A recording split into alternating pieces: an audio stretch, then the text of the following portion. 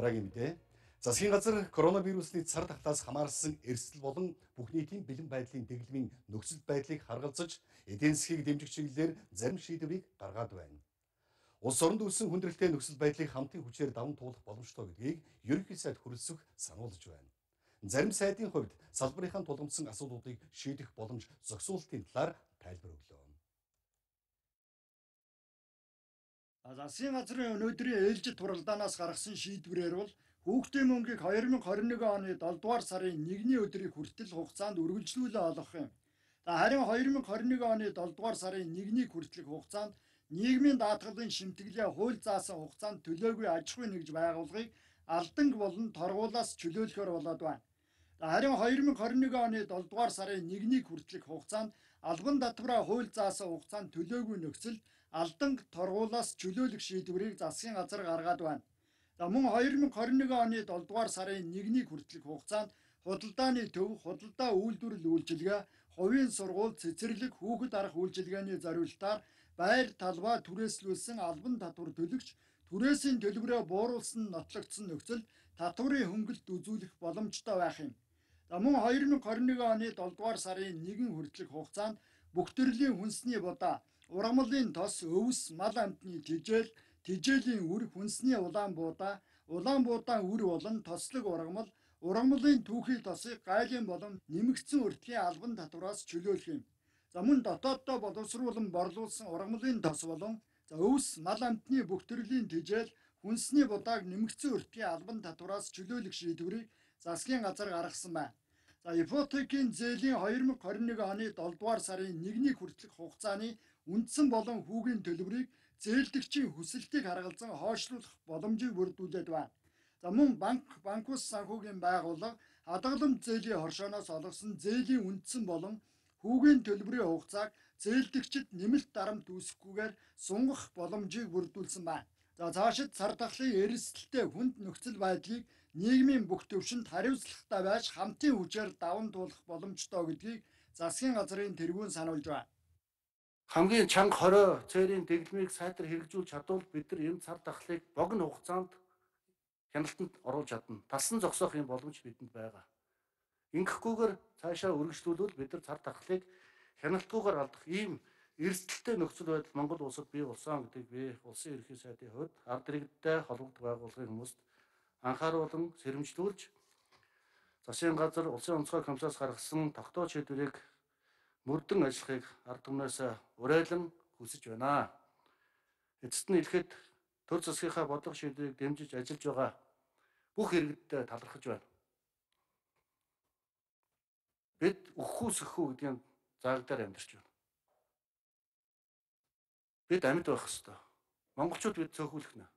3.3 сая хүн энэ аюул төвчнөр нэг ч хүн битээ нас ураасаа гэж чин сэтгэлээсээ хүсэж бодож энэ олон мянган төрийн албан хаагч нар анхан шатан дээр өдөр шөнөгүй нойр холгүй зүтгэж байгаа гэдгийг бид бүхэн бүгдээрээ нүдэрээ харж жихээрээ сонсож байгаа.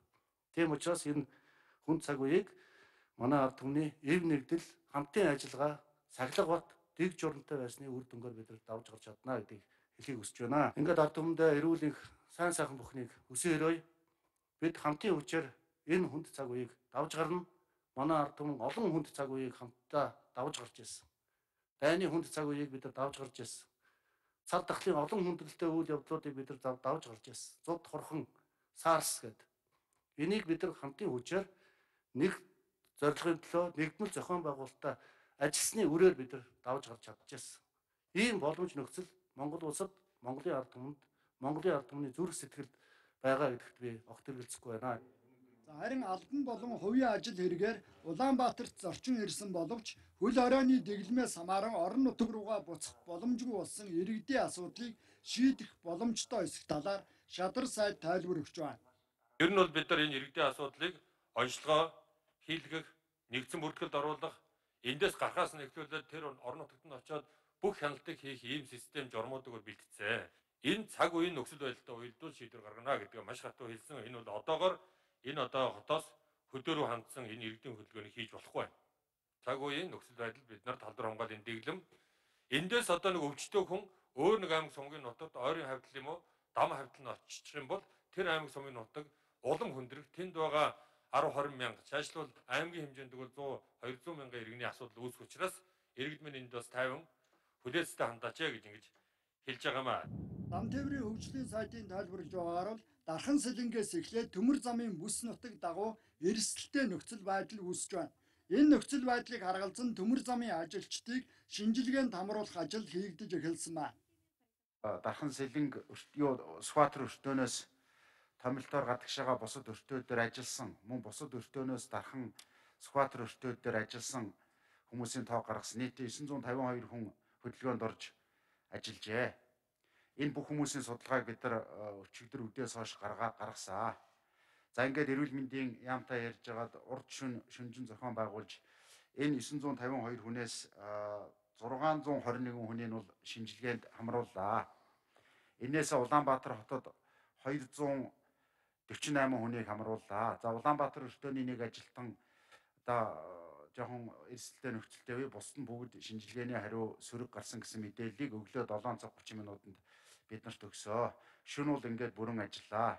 За өглөө 7:30-аас хойш өнөөдөр гээд ингээд энэ үлдсэн 311 хүн бол бүгд шинжилгээнд бүрэн хамрагданаа. За хөдөлмөр нийгмийн хамгааллын сайтын тайлбараас үзвэл нийгмийн халамжийн 72 төрлийн тэтгэвэр тэтгэмжийг цаг хугацаанд нь олох зохицуулт хийгдэж байна. 11 сарын 13-нд Хаан банк төрийн банкар дамжуулан 150,575 иргэний 25.7 тэрбум төгрөгийг дансанд нь байршуулсан байгаа. Тэтгэр, тэтгэмж, хөнгөлөлт, тусламжийн үйлчилгээнүүд байна. За эдгээр иргэдээс дансгүй картгүй иргэд байгаа. А эхний ээлжин зөвхөн Улаанбаатарын хувьд бол бид нар ярьж байгаа. Бусад орон нутгийн салбарууд банкуд ажиллаж байгаа учраас энд ямар нэгэн одоо хүндрэл бэрхшээл учраагүй. Улаанбаатар хотын хувьд хаан банкн дээр нэг 2000 иргэн байсан. Үүнийг бол картжуулаад дансжуулаад Монгол шуудангаар хүргэсэн байгаа. За төрийн банкны хувьд нэг 20 мянган иргэн байгаа. За 20 мянган а, данс картыг хевлээд бэлдээд салбарууд дээр банкны салбарууд дээр одоо хүргэсэн байгаа. Иргэд төрийн банктайгаа салбартайгаа холбогдоод цахим одоо данс үүсгэсэн байгаа учраас аль нэг карттай өөр банк руугаа холбох үгүй бол цахим гүйлгээ хийх боломж нь нээлттэй. За ирэх одоо өдрүүдэд бас халдвар дэглэмээ одоо халдваргүйдлийн дэглэмээ одоо сайн сахиад банкуудыг ажилуулахаар шийдвэрүүд ингээд гарч байна. А засгийн газар болон улсын онцгой комиссийн гаргасан шийдвэрээр бол хуулиар зөвшөөрөгдсөн төрийн байгууллагуудын нийт ажиллагчдын 15-аас 20% нь бэлэн байдлын үед ажиллах шаардлага үүсэт байгаа юм. Харин төрийн байгууллагуудын санхүүжилт төлбөр тооцоо хэвийн хийгдэж байгааг сангийн сайд хэлж байна. Төрийн сангаас хийж байгаа төлбөр тооцоон дээр санаа зовох зүйлгүй. Бүх төлбөр тооцоо цаг хугацаантай гарч байгаа. Хөрөнгө оруулалтын зардлын санхүүжилтийг бид нэр 7 хоногт нэг гаргаж байгаа. Өнөөдөр засгийн газрын тогтоол гарсан ерхий сайд өгсөн чиглэлийн дагуу бид нар 7 хоногт хөрөнгө оруулалтын санхүүжилтийг нэг биш хоёр одоо болгож өөрчилж нэмэгдүүлж байгаа гэдгийг би энд хэлье. Өнөөдөр улс орон даяараа амаргүй байгаа. Тэгэхээр одоо төрийн байгууллагуудыг дээр ажиллаж байгаа энэ ихэнх байгууллагууд цахим шилжилтээр шилжчихсэн ажиллаж байдаг. Ер нь энэ хугацаанд төрийн байгууллагуудын албан хаалтын цалин хасна, багасгах гэдэг яриа бол огтхон байх нь байж болохгүй гэж үзэж байгаа. Тэгэхээр энэ нь бол бүрийн хэмжээгээр олгогдоод явна. А тухайн ажилтныг яаж ажил дээрээ максимум хэмжээгээр үр ашигтай ажилуулах энэ 20 цэр үед ажилуулахыг тухайн байгууллага улсын онцгой комисстэй одоо танилцуул шийдвэр чиглэл авах шаардлагатай бол аваад хийх явна. Үгүй бол өөр дээрээ ажлаа бүрэн хэмжээгээр зохицуулаад явах учиртай За харин эрүүл мэндийн сайтын мэдээлэлээс үзвэл цар тахлын халдвар авч эмчилэгдэн эдгэрсэн иргэдийг тусгаарлсан тэднийг хяналтанд авсан гэсэн тайлбарыг өгч байна. Нийтдээ 341 хүн эдгэрж имлэгээс гарсан байна. Үүний одоо 28 хүн дараагийн шатны одоо тусгаарлах байранд байна. Энд чинь бол одоо имлэгээс гарахтаа 5 төрлийн шинжилгээг аваад түүнд ямар нэгэн вирус илэрхгүй тохиолдолд гаргаж байгаа. Ингээд дараагийн шатны тусгаарлах байранд бас бид бүхэн 14 хоног хяналтандаа байлгаад вирусын шинжилгээ одоо дахин вирусын шинжилгээнд дахин илэрсэн тохиолдолд энэ шинжилгээг дахин илэрч гарахгүй болтол нь бид бүхэн одоо тусгаарлах байранд байлгаж байгаад гаргаж байгаа. За гарсан бүх иргэд бол хяналтанд байж байгаа. Бүгдөө буцаад шинжилгээ өгж байгаа. Энэ улсуудтай бас ойрхон байдаг гэр бүлийн гих мэтчлэн улсуудыг бол байнгын шинжилгээ авч энэ бүх зүйлүүд маань ер нь хяналтанд явж байгаа гэж ингэж ойлгож болно. За харин иргэдийн хэрэглээний болон ипотекийн зээлийн эргэн төлөлтийн хугацааг хойшлуулах мөн банк бус санхүүгийн байгууллага болон хадгаламж зээлийн хоршооноос авсан зээлийн зохицуултыг хэрхэн хийх боломжтой талаар холбогдох албаныхан тайлбарлав. Өнөөдөр цар тахалтай энэ 14 хоногийн дотор банкн дээрээ ирээд одоо ипотека сунгая гэд гэрээ хэлцэр хийгээд явхад хүндрэл бэрхшээлүүд гарна тийм ээ. Нөгөө хөл хорионы зэрэглэлийн дэглэмж нь үүшлэнэ. Тийм учраас энэ 20 цэрийн дэглэмийн хугацааг тооцож хэрвээ тэр хүн нөхцөл болцоогүйгээс болоод ирж чадаагүй бол тухайн хүн 12 сард ч юм уу 1 сард ч юм уу хүсэлтэд тавьбал тэр 11 сарын 1-ээс хойших төлбөр тооцоог энд заасан журмын дагуу зохицуулж хийнэ л гэж ингэж одоо би ойлгож байгаа. За одоо ингээ хоёр дарга эмчээр сууж байна. Та хоёр албан ёсоор хариул. Монгол банкны хувьд бол энэ арга хэмжээг өмнө нь бас авсаа 4 сарын 1-ээс 11 сарын 1 хүртэл ингээ явж исэн юм хойшлуулж исэн юм арга хэмжээ байгаа. За энэ арга хэмжээнд 38 мянган ийм одоо зээлдэгч хамрагдаад 38 мянган зээлдэгч бол өөрийнхөө 6 сарын энэ хугацаанд зээлээ төлөөгүй ингээ явж ирсэн. За одооноос эхлээд бас дахиад дараагийн 7 сарын 1 хүртэл ийм яг адилхан арга хэмжээг авах гэж байгаа. Одоо энэ өнөөдрийн яригдж байгаа арга хэмжээ бол одоо зээлээ авчихсан байгаа тэр улсуудад хамаатай. А тэгээ миний хэлж байгаа зүйл нь гол нь том дүнгээ тохирцсон байдаг учраас хизээ төлөх нь бол угаасаа асуудал байхгүй. Тэгэхээр одоо ингээд 6 сараар хойшлуулж чинь гэдэг маань 20 жил 6 сар болж сунгагдж байгаатай адилхан зүйл. банк ус байна уу тухайн хадгалан зээлийн оршуудтайгаа ярилцж хагаад 200 банк ус санхүүгийн байгууллагын хувьд үнэхээр хүндрэл тасалдал бизнест нь учирсан энэ зээлдэгчд өөрөөр хэлэх юм бол 103 мянган зээлдэгчдийн 250 тэрбум төгрөгийн зээлийн гэрээнд өөрчлөлт оруулсан. Энэ хуулийн хэрэгжилт маань бол энэ оны 12 сарын 31 хүртэл хэрэгжинэ. За энэ дээр санхүүгийн доктортой байдлын хүрээнд за дээрэс нь сангийн сайттай хамтарсан тушаал гаргадаг хорооны даргын хувьд ярилцж хагаад энийг бол биднес 7 сарын 1 хүртэл одоо ямар нэгэн байдлаар хэрвээ тухайн зээлдэгчд ямар нэгэн эрсдэл тохиолдсон за дээрэс нь үнэхээр төлөх боломжгүй бол тухайн гэрээнд нь зээлийн гэрээнд нь өөрчлөлт оруулад үндсэн хүү болон төлбөрийг төлөхгүйгээр зохицуулт ийм боломжтой болж байна. Банкуд бол саяны энэ 10-аас хойш 20 цэрийн дэглэмтэй холбоотойгоор бүх дотоод өөр дотор байдаг албан ажиллаж байгаа. Одоо төлбөр тооцоо хийгдэж гин мэдээлэл өгдөг албан ажиллаж байгаа. Тэгэхээр бүх банкуд өөртөө ханддаг утаснуудаа бол олон нийтийн мэдээллийн юм дээр тавьсан байлээ. Монгол банк бас тэрийг нэгтгэж аваад өөрийнхөө веб хуудсан дээр аль банктай ямар утсаар холбоо өөрийнхөө гэдгийг бас нэгтгэж тавьчихсан байж байгаа. Монгол банк ч гэсэн өөрөө бас мэдээлэл авах утас тавьсан учраас энэ дээр бол ингээд харилцагч нар шууд тодруулаад тодруулаад мэдээлэл аваа явчих болно. За өнөөдрийг хүртэлх бас арга хэмжээний үеэрээ банкуд бол аль хор захимаар ингэж хүсэлтийг хүлээж авч захимаар шийдэх юмнуудаа шийдээд явж байгаа. Өмнө нь бол одоо нэг гарын үсгийн баталгаа гэдгээрээ заавал очиж гарын үсгээ зур гэдэг байсан бол одоо нөгөө дижитал гарын үсэг гэдэг рүү ороод илүү их захимжсан учраас асуудлууд нь бол ингээд амархан шийдэгдэх байхаа гэдэгт бол итгэлтэй байна.